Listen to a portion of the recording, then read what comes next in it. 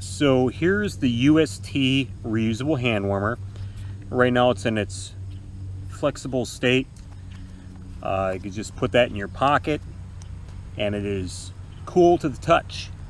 However, see this little metal disc in here?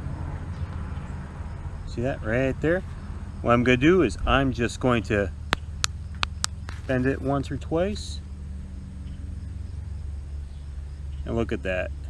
How it's crystallizing in the inside now. Isn't that cool? And as it crystallizes, this is already hot. If you use any of the disposable heat packets, you know it takes a few minutes for it to heat up. This is heating up and as it's hot, it's still flexible. Uh, when it cools down, it's going to turn just a little bit harder. Uh, you may have to massage it a little bit if it doesn't fully crystallize, but I haven't had any issues with mine yet. Uh, this is something that I carry year round uh, in my first aid kit uh, in case I have to apply heat to a hypothermic subject. Uh, you can put these right in the palms of the hands, uh, soles of the feet, any place that the arteries come in. Uh, put it inside the, the groin or in the armpits or right around the neck for the carotid artery and this will actually deliver quite a bit of external heat uh, to somebody undergoing hypothermia. And besides first aid, of course, these are just really handy to keep around to keep your hands warm, uh, whether it's emergency or if you're just enjoying any time outdoors, uh, especially once it gets just a little bit chillier. The heat has long since dissipated from your UST reusable hand warmer, so now I'm going to show you how you can recharge it using just boiling water on your stove. Uh, the things you're going to need are going to be a pot, boiling water. I brought my water up to a rolling boil. I've actually been reducing the heat down to a simmer.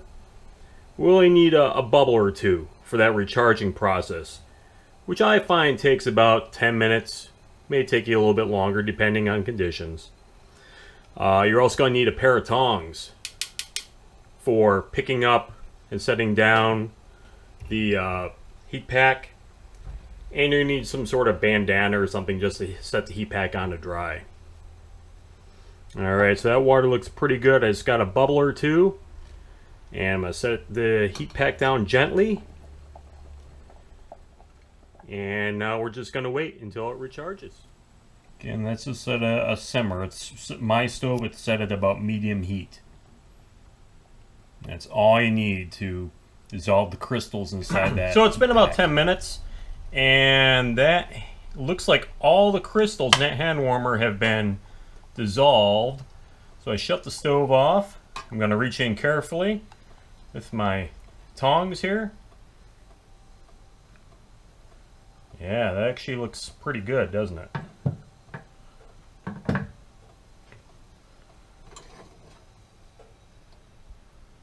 Steam out of there so it's not fogging up the lens.